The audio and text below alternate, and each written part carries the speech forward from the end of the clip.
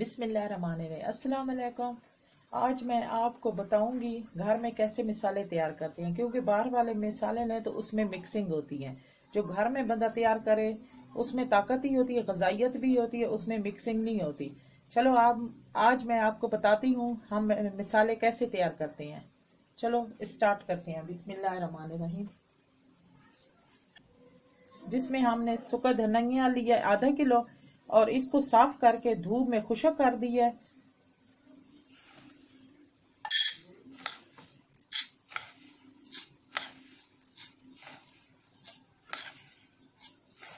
घर वाले मिसाला जो तैयार करें, उसका जैका भी और होता है। मैं तो घर में ही तैयार करती हूँ। तब तो मैंने कहा कि आपको ही सिखा दूँ। अब इसे हम पीस लेंगे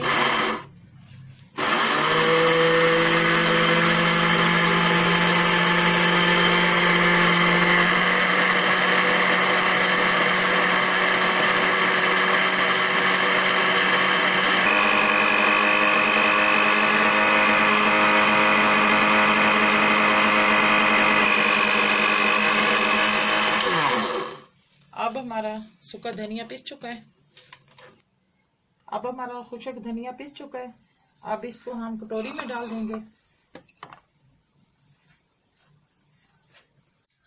पहले मैंने सालन के लिए पीस लिया था बारीक पीस लिया सूखा धनिया अब इसको मैं पकोड़ों के लिए पीसूँगी इसको कम पीसूँगी उसको मैंने ज़्यादा पीसा है इसको थोड़ा कम पीसूँगी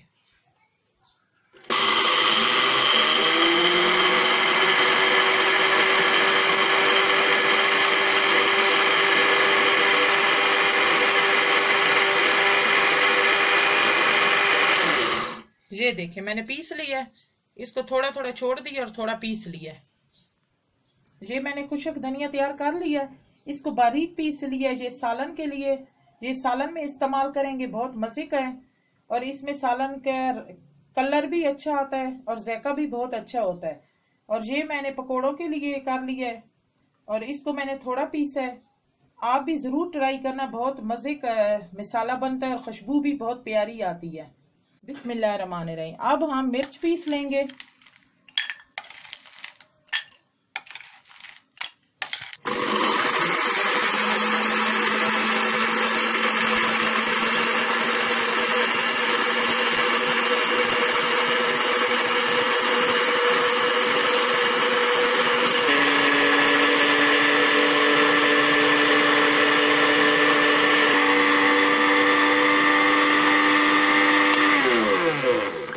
अब हमारी लाल मिर्च पिस चुकी है।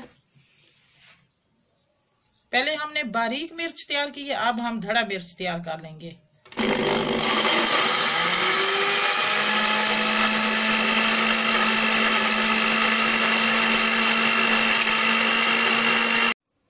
ये हम बारीक पीस लिए हैं लाल मिर्च, इसको हम सालन में इस्तेमाल करेंगे।